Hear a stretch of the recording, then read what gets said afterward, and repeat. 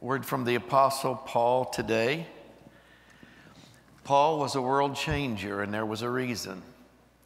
He knew, he knew God differently than, than many do. 2 Timothy chapter 1 and verse 12. Paul writes to his spiritual son.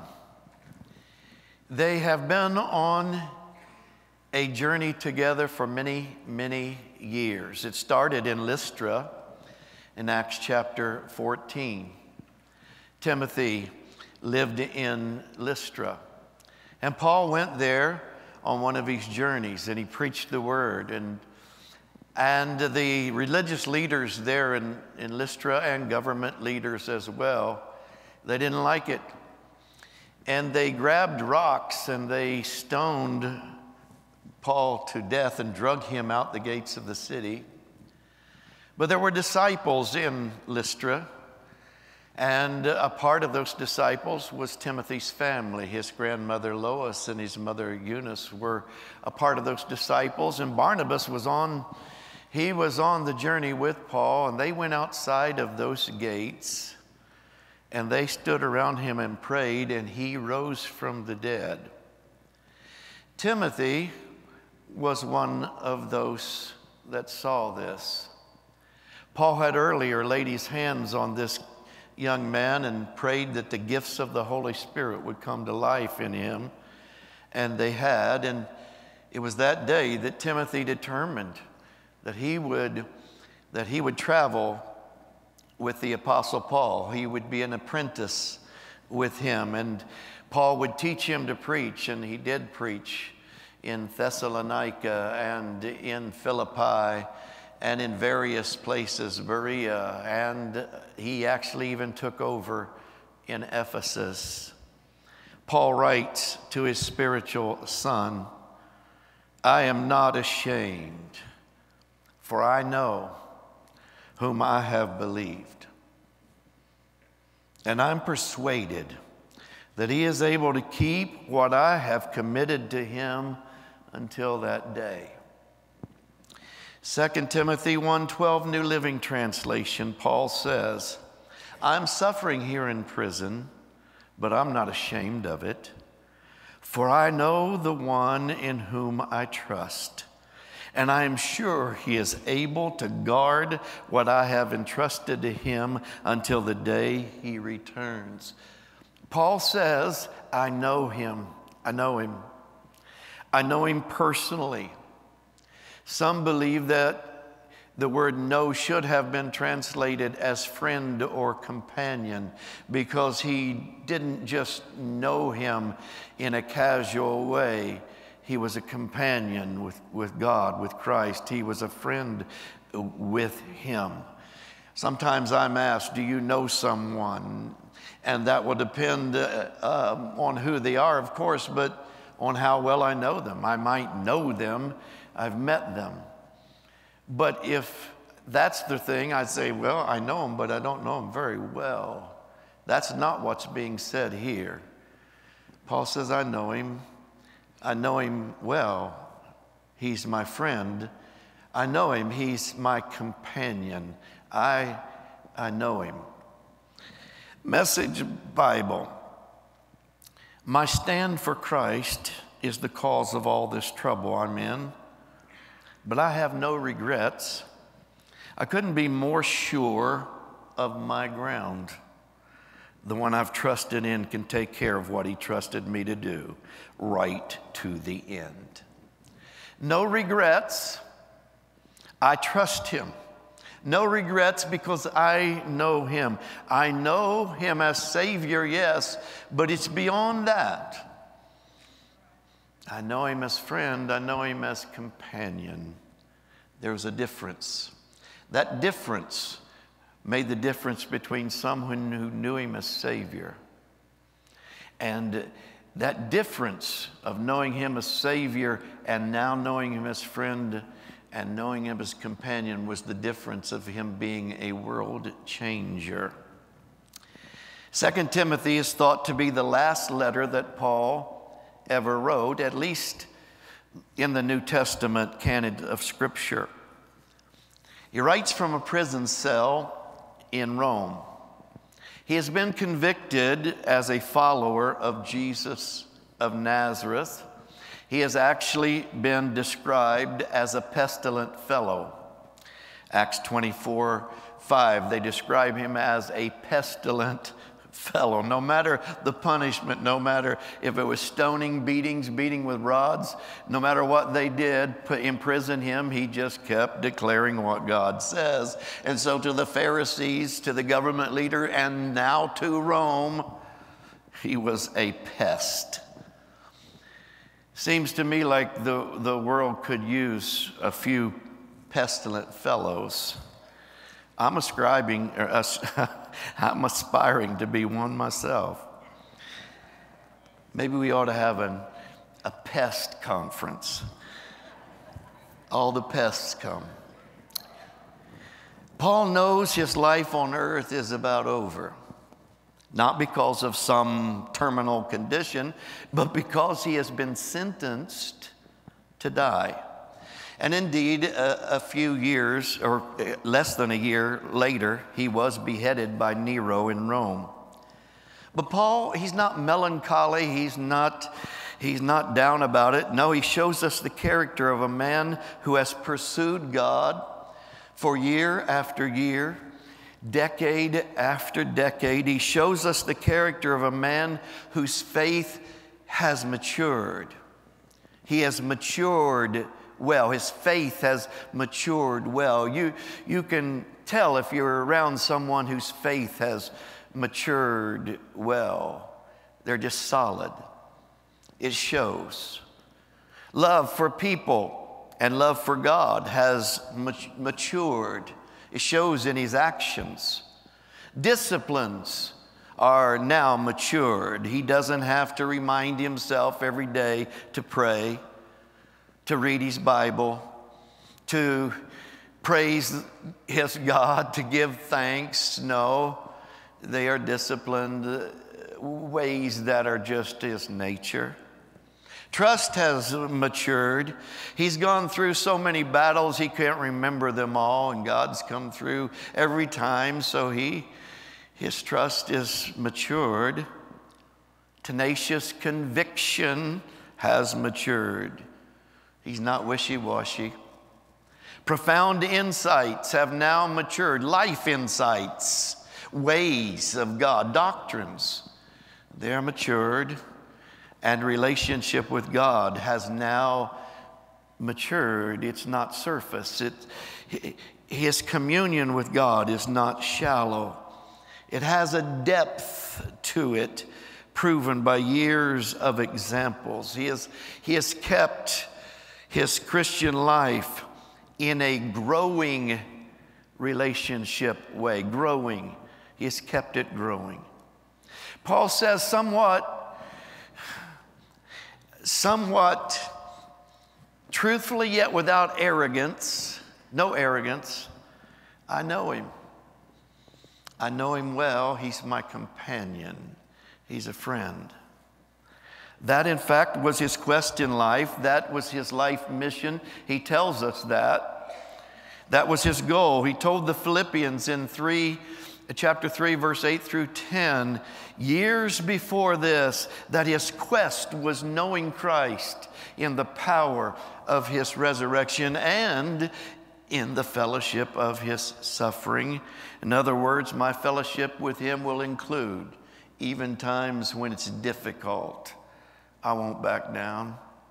Going so far as to say anything else in comparison to me is rubbish, it's trash. Fellowship with King Jesus was a priority. Companionship with, with Christ was a priority. Not enough think that way today. Many just seek Him as Savior, and that's it.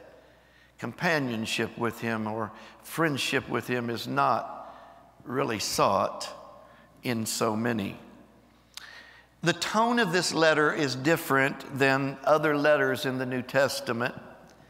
And you can tell that there is something that is weighing on Paul's mind, and he's trying to convey the importance of standing up for the gospel of Jesus Christ, the urgency of standing strong in perilous times, in very difficult times, the importance of clearly distinguishing the difference between right and wrong and saying so, between truth and error and saying so, between good and evil and saying so, the necessity of standing in faith as a good soldier of Christ Jesus, of warring a good warfare, he says.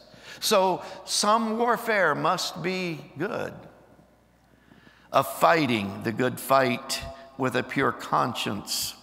So, some fights are good, some fights are righteous, some fights must be fought. Of being an example of the believers, of confronting teachers who compromise what God says with passivity, with unbelief, or fear. Also, he stresses the, invital, the vital importance of accepting responsibility for continuously growing up in Christ. In other words, you've got to keep growing you, you can't stop. You've got to keep on going. Grow closer. Grow closer to Him. And there is no doubt He is conveying the, His own insatiable quest to know Christ and within his words is a challenge to Timothy and a challenge to millions of others down through history to do the same. If there was one key to success in every area of life I could give to anyone, it's to grow closer to Him. Make it your quest to know Him. Get to know Him more and more and more, closer and closer. Press in to know Him, not, not just about Him, not just the study about Him, Him. Not just a corporate God, a corporate God of the world, no, personal. Personal. Not a casual observer. No, a committed, a committed disciple. The world today is in desperate need of committed disciples. It is in desperate need of people who know Him in the power of His resurrection. It was 1976. I was working at a concrete company thinking uh, about, I'd begin to think about going to Bible school 48 years ago. Christian TV was just getting started back then. And CBN, well, it was Pat Robertson's television network, they were going to televise the Full Gospel Businessmen's Convention in California. I had never seen a Christian, um, a, a Christian convention in a big arena before. Back then, it was unheard of. I had never seen anything like that, and, and I, I wanted to see it. Well, it, being in California, naturally, it was going to come on really late at night, but I, I just had to see it because Oral Roberts was going to be the preacher. And I, I, I had to see it. So I stay up late and, and I'm watching this. And when he began to preach, something supernatural happened. And it's easy to explain, and yet it's, it was so life changing. Something supernatural happened as I began to hear him preach, a mantle to preach, an anointing to preach came upon me. And I could feel it. I could feel a mantle. It was, it was wrapped around my shoulders like a cocoon or like a, a blanket. An anointing to preach came around me like it wrapped me, and I felt it. It wasn't just something that I heard, I actually physically felt this. And I had recently been to another full gospel businessmen's meeting. It was a regional meeting with T.L. Osborn was the speaker, and he had talked about being called of God to, to preach, and he just said, I don't know if I, I don't know what a calling is. He said, I just figured that I could do what I could. And that I was going to just work for God that way. I just do what I could. I thought I can do that. I can do what I could. And now I feel this mantle. It wraps around me. I felt it.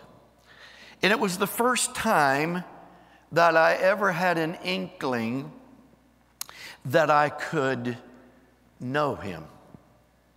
It was the first time that I had an inkling that I could actually walk with God. I could be a disciple like the early disciples. I could actually be a companion of God. This was revolutionary to me. I mean, I can know him different. I'll never forget it. He, Oral Roberts, began preaching about Shadrach, Meshach, and Abednego in the fiery furnace. And suddenly the fourth man appeared in the fire with him, and his appearance was like the Son of God. And Oral then asked the question Who is this fourth man? And he began to declare who Jesus is in the volumes of God's book, the Holy Bible. And I remember standing to my feet in the living room. I couldn't help it. I jumped up. I had never heard that before. Never.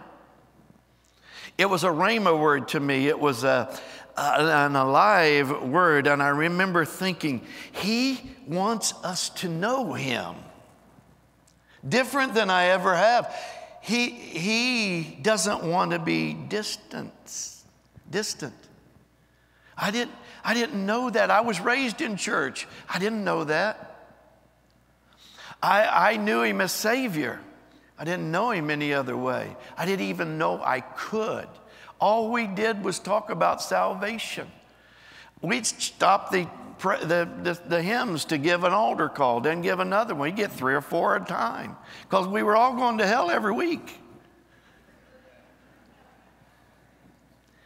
And I, that's all I knew. He's my Savior. And I remember the awareness came. He wants more than that.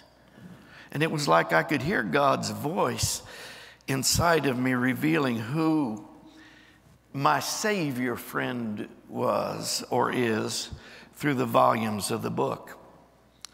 I stood in rapt attention as a mantle wrapped around my shoulders that I could feel, hearing for the first time in Genesis, he's the seed of the woman who has come to stomp the head of the serpent for you.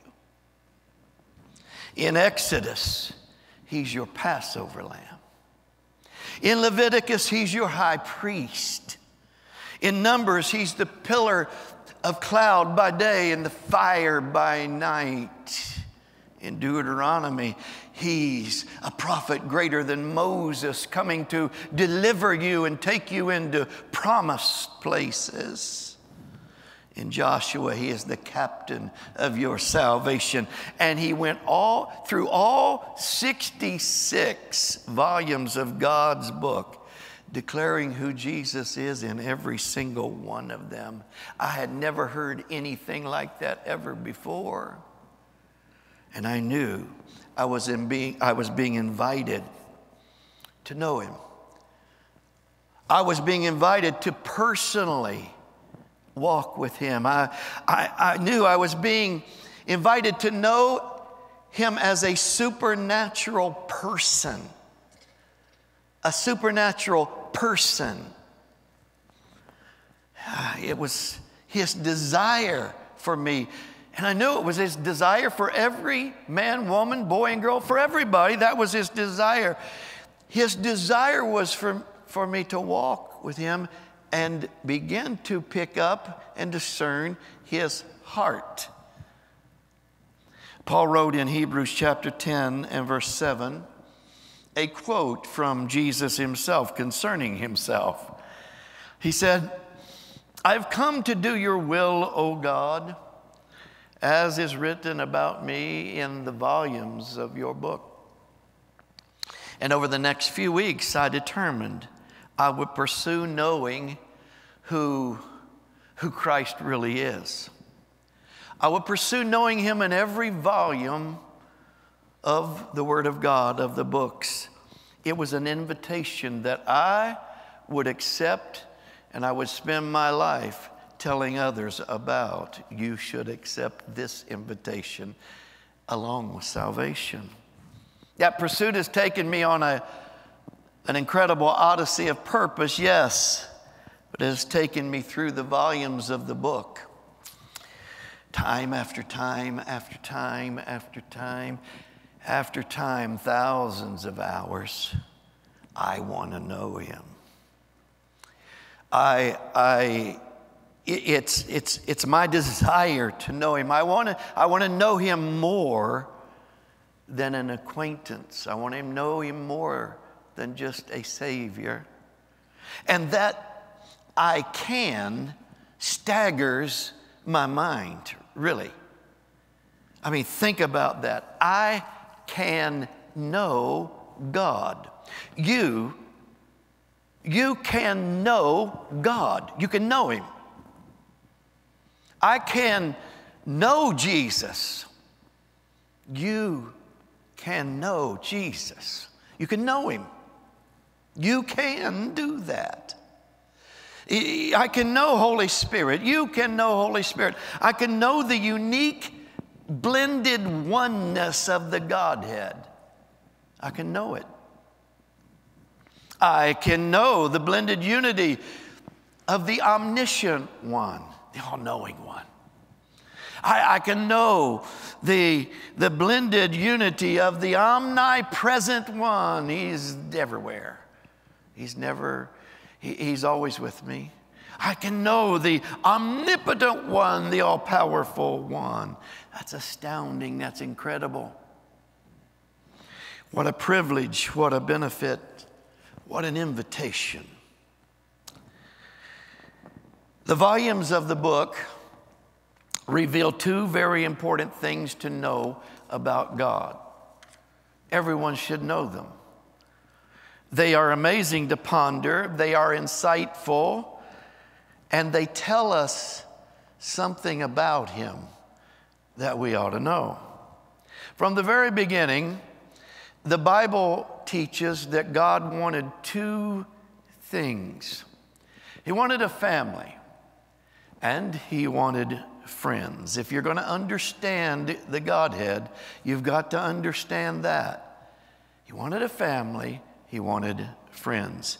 It was so important that Jesus would be willing to lay down his life on a cross for it to happen. Now, think about this just a, a moment. Don't just hurry past this. It will tell you something about him, him, the personal him. The one who is, is love, the zenith of love, the one who is love had no family. The one who had the greatest father's heart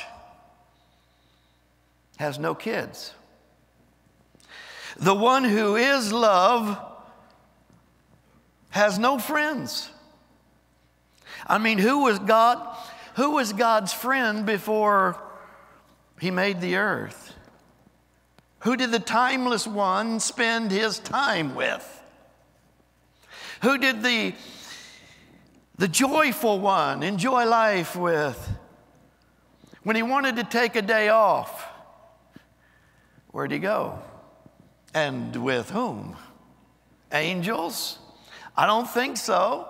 Be- because, yes, angels were always around, but I don't think so because angels were, they're, they are cause, they are cause created.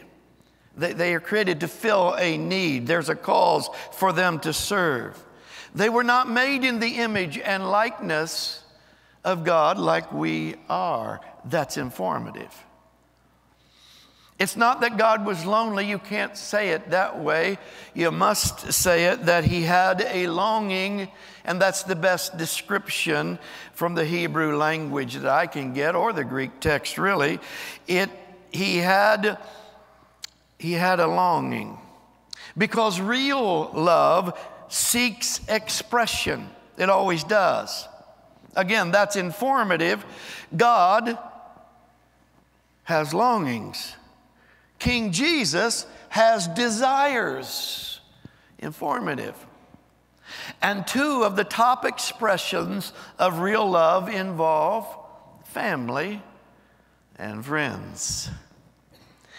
The fact that God wanted family is seen in his description of heaven itself. Think of how he described it. He describes it as home. It's the eternal home of Father God and His family. It's the home of, of His sons and His daughters. It's our home. That's informative. He must want us home. He wants us to be in His home. To this day, we, we describe the death of someone who, who is a believer we often describe it as their homegoing. They went home. God wanted friends and he wanted family. Well, in the Old Testament, we find that God had very few friends. They were very rare. Obviously, New Testament relationship was not available yet. And you find very few friends of God. We're told of Enoch Enoch was God's friend. Enoch walked in companionship with the Lord so close that one day when God went to do whatever he was doing, Enoch just went with him. God took him. He walked so close to God. He was walking. It says Enoch walked with God. That's informative.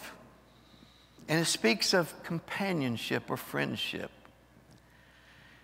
It's something that we have to grow up in in our maturity. I don't think we start there. I didn't.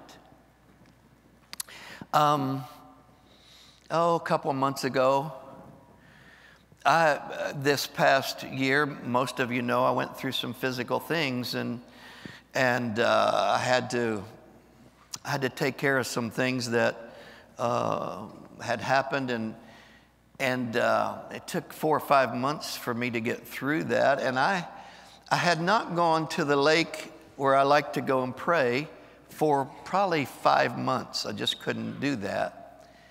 And uh, I remember um, Dutch and Chuck Pierce were coming for a hub, and and I thought, okay, I'm, I'm feeling good. I'm going to go out and, and I'm going to talk to the Lord at where I like to pray out to the lake. And uh, I thought I'm going to do that.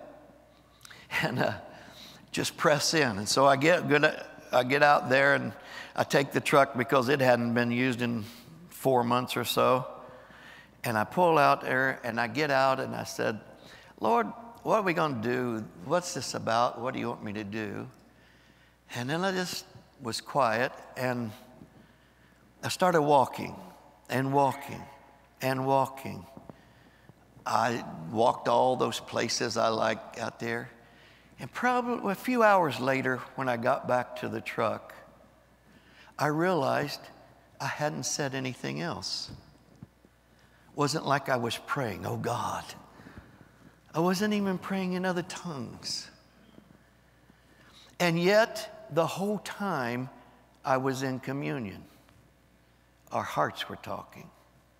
I was hearing him. I knew him. I, I, I was receiving ideas. Things were penetrating inside of, of my, my inner being. I realized I'd been walking with him and I'd entered into a zone I wasn't even thinking, I was just present with him.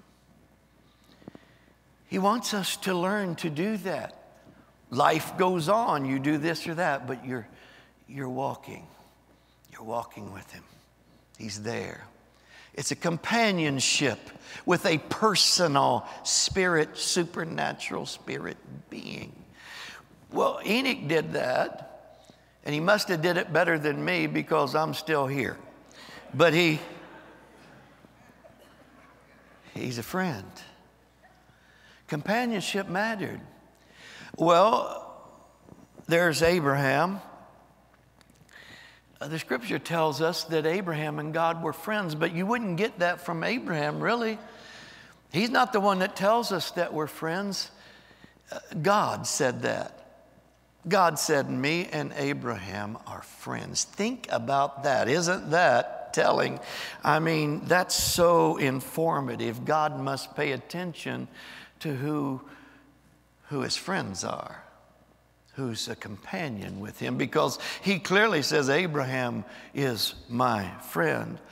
God told Abraham things he told no one else on the planet at that in those days at that time.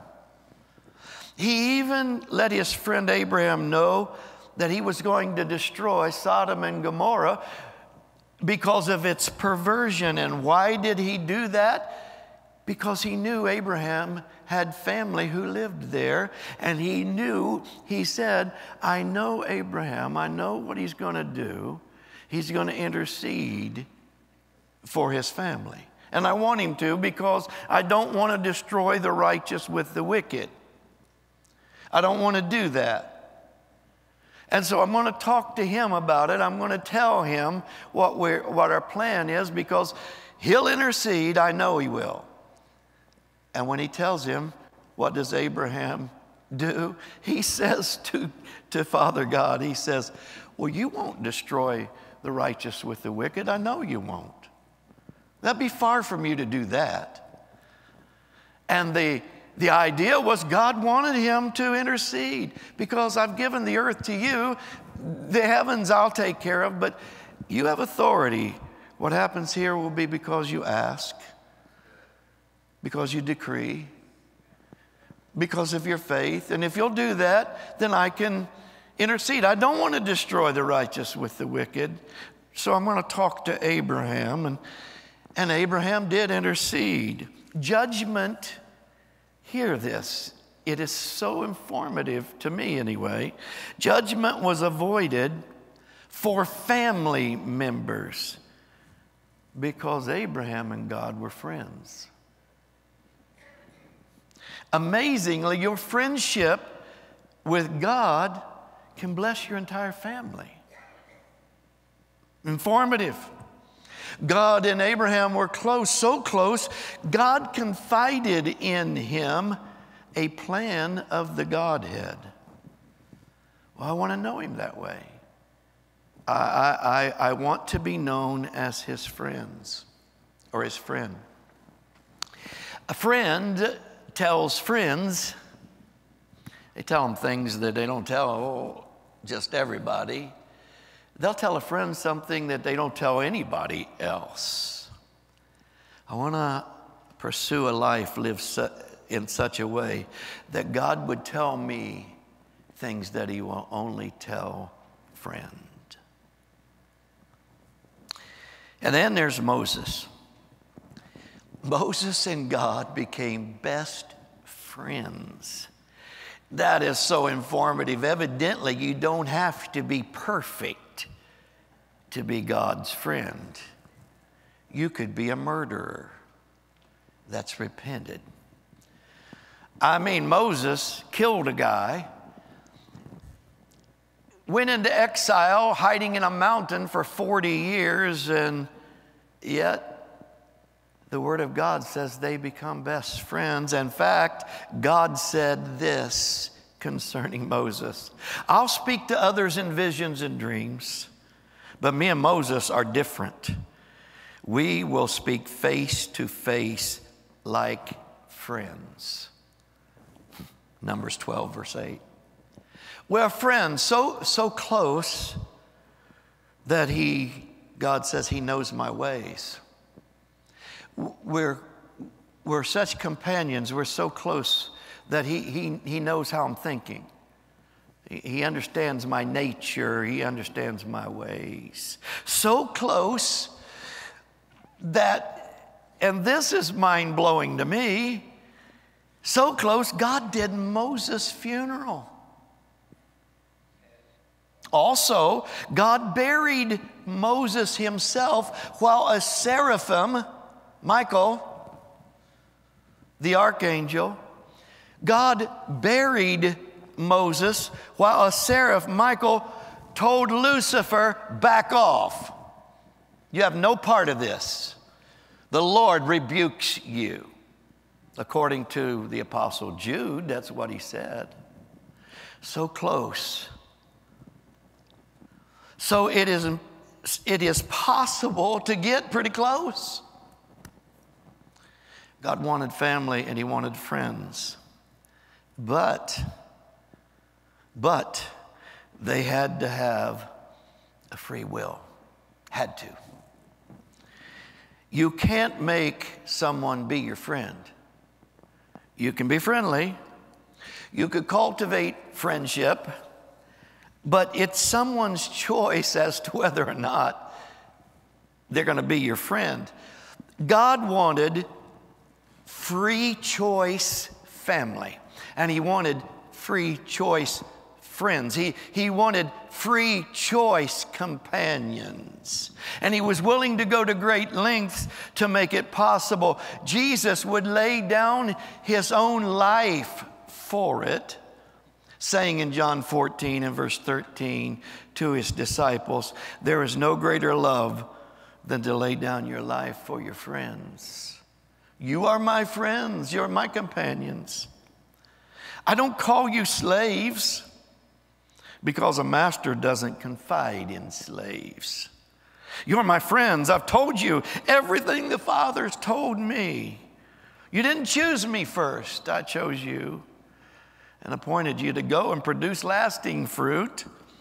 And as you do, know the Father will go, or the Father will give you whatever you ask in my name.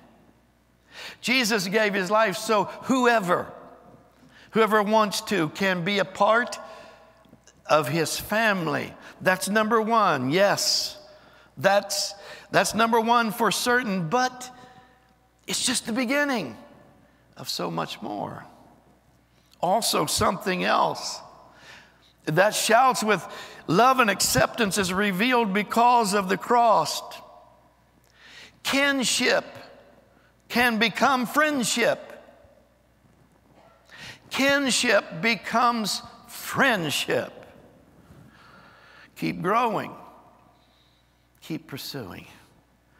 I can know Jesus as Savior, as Lord, as, as Master, as Redeemer, and I do, but I can also know Him as friend, and I am determined to know Him in all of those ways more and more and more. I want to grow in my understanding of who He is. I want to grow closer and closer and closer.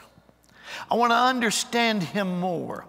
I want to draw close to Him. I want to know Him as my God friend. Obviously, the more you fellowship with, with someone, the better you know them the more fellowship, the more you understand them. The closer the fellowship or the more companionship, the more you understand their nature. The more you understand their ways, the more you understand uh, their, their character, what makes them them. I sometimes hear people say things about God. Well, God's this, God's that, God's something. And I'm thinking inside, no, He's not. I know Him. He didn't do that. That's not Him at all. He doesn't do that. Never will. Why? Because you, you press in to know his character, know his ways. You got to know his character. You're going to walk with him. You got to understand his ways, his nature, his character, why he does what he does. His word will always tell you, his word will define it. The more you fellowship, the more you understand, the more communion, the deeper the relationship. And thankfully, where our relationship with Christ is concerned, we are continually invited to know Him more. Draw nigh to Him, He draws nigh to us. And no matter what your spiritual level of maturity may be, there's always more. There's always more. You can always go deeper in the things of God. We will never mine out all that He is. That's the odyssey of the Christian life. That's the journey that, that we're on.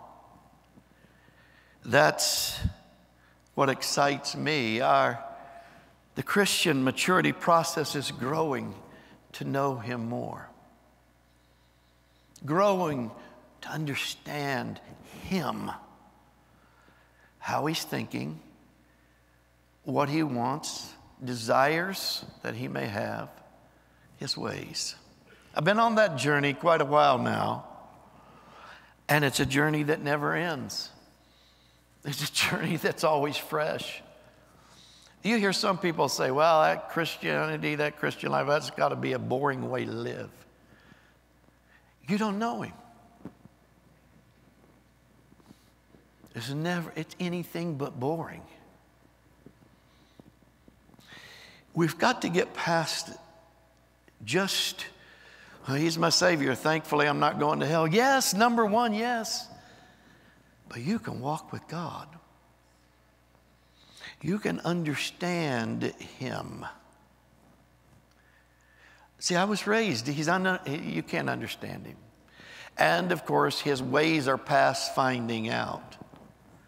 Well, I agree. We'll never in this life find them all out, but let's find some of them.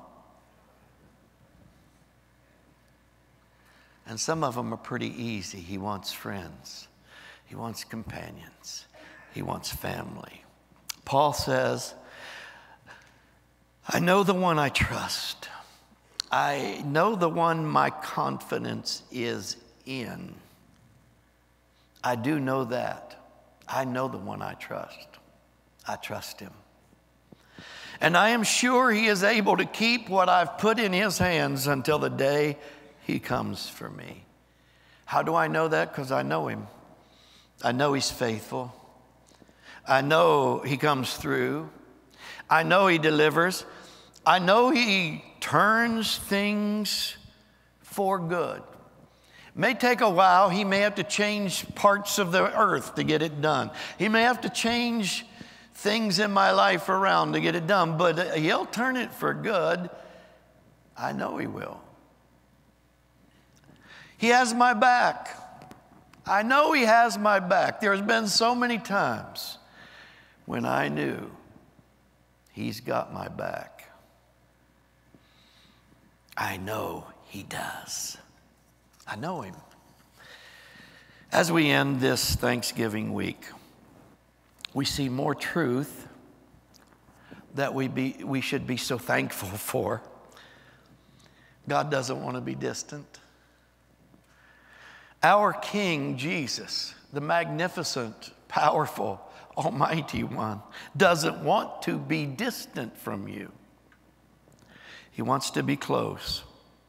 A very present help in time of trouble, a very present Savior King, a Savior King friend who keeps His word, the all powerful one there with us. What a blessing. Just before the cross, Jesus sat down with his friends, his disciples.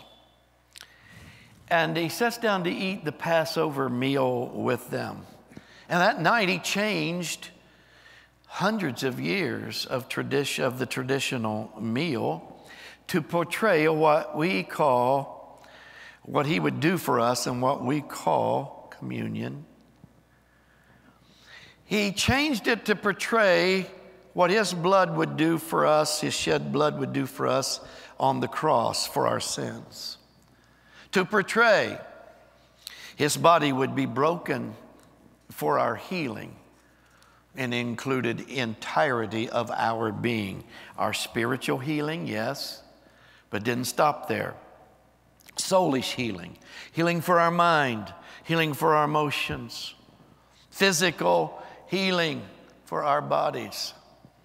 Isaiah the prophet said it this way Isaiah 53, 4 through 5, amplified. Surely he has borne our griefs, sicknesses, weaknesses, and distresses. And he has carried our sorrows and pains of punishment.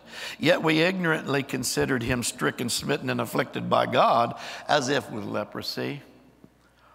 But he was wounded for our transgressions. He was bruised for our guilt and iniquities, the chastisement needful to obtain peace and well being for us was upon him. And with the stripes that, that wounded him, we are healed and made whole.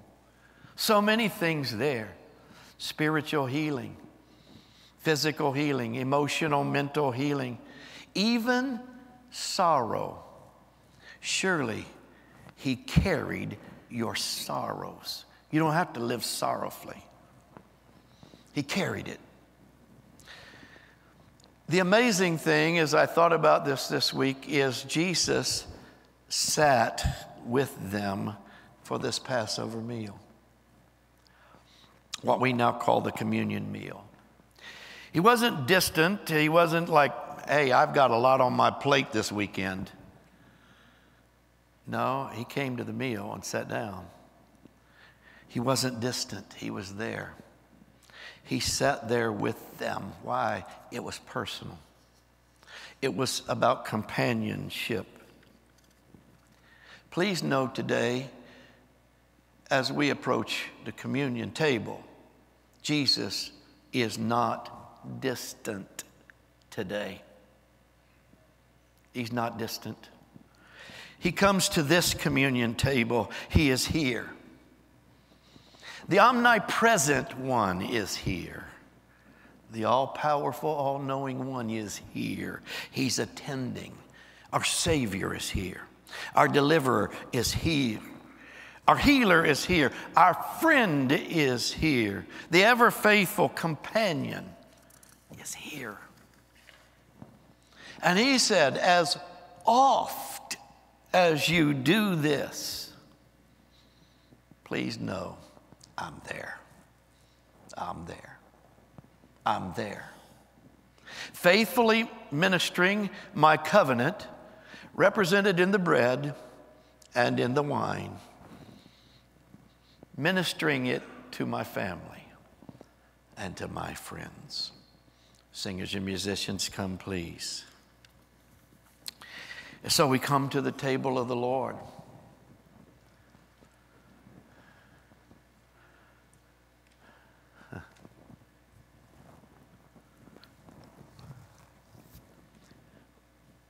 What a promise that he made, and he never lies. When you come to the table, I'm coming to the table. When you come to the table, I'm coming to the table. I'll be there. I don't know what you may need today. I just know that the one that can take care of it all is coming to the table.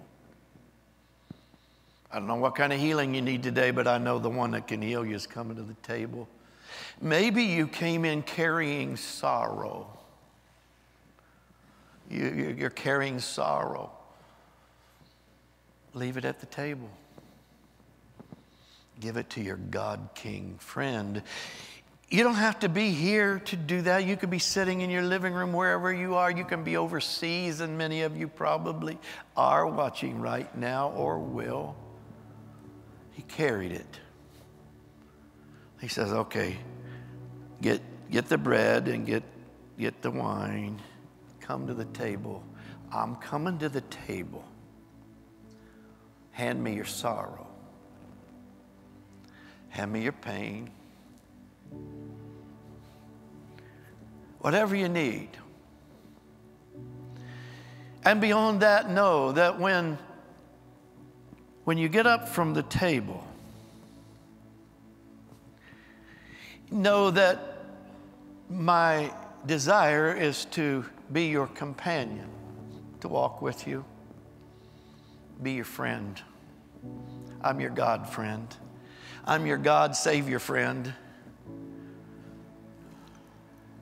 So we come to the table of the Lord, the table of the Lord.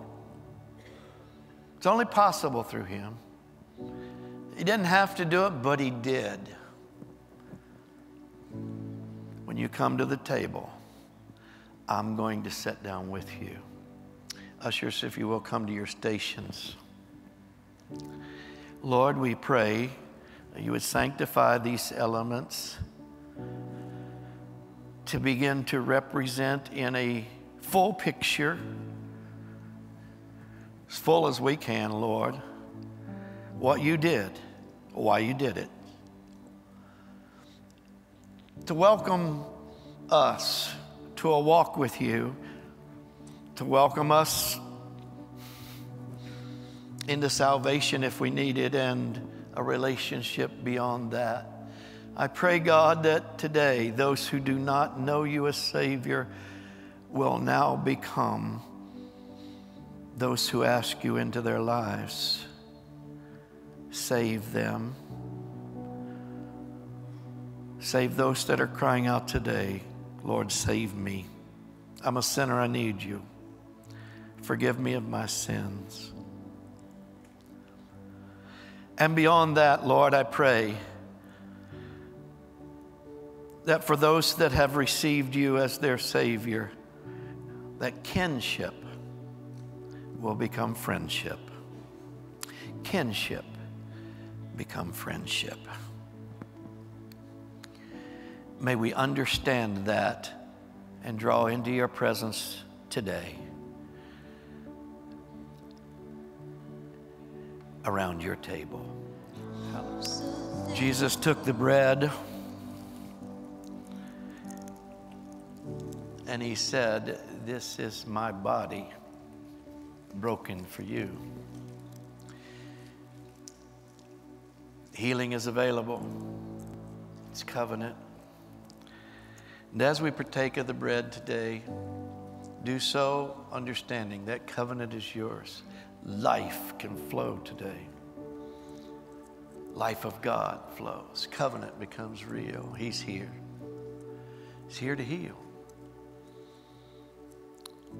took the stripes on his back for you, took the punishment of the pain for you. So let's partake of the bread together, please, and do so in remembrance of him. Thank you, Lord.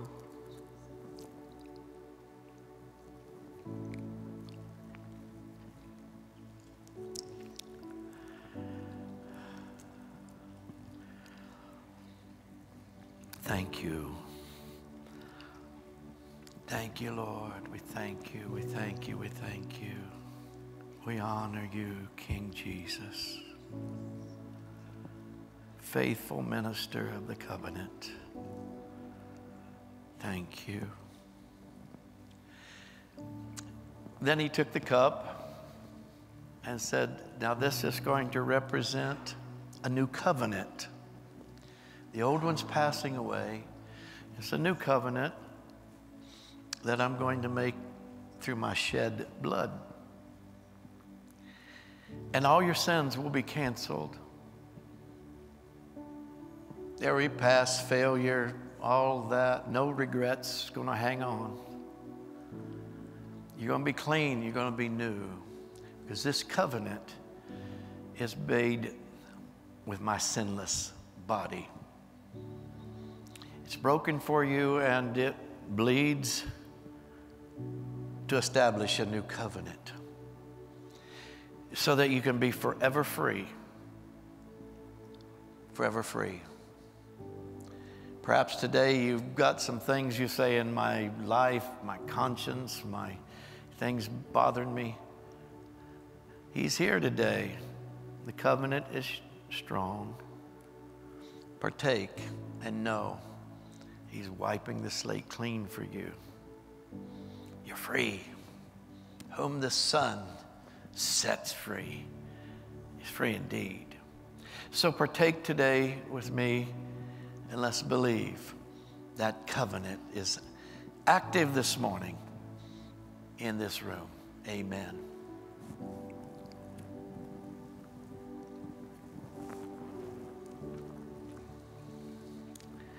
Thank you, Lord.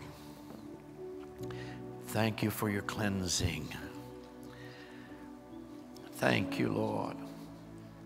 Relationship restored. Thank you, Lord. We thank you, Lord, for the invitation to walk with you.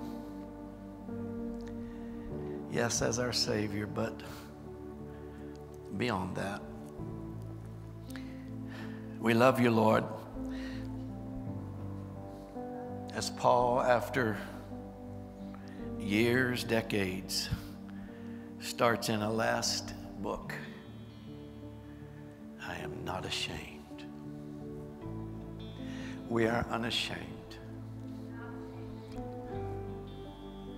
We know who we have believed and are persuaded. He's able He's able. He's able take care of us. Amen. Amen. So, Lord, we thank you for a Thanksgiving week. We thank you that has been a time of refreshing, but beyond just family and friends with you as well at family tables around our nation, but at your table in your house. What a privilege. Be with your people this week, Lord. We know that you will walk with them through their job situations, life situations, family situations. And we will give you all praise and glory. Amen. Amen. All right, bless you. Have a great rest of your day.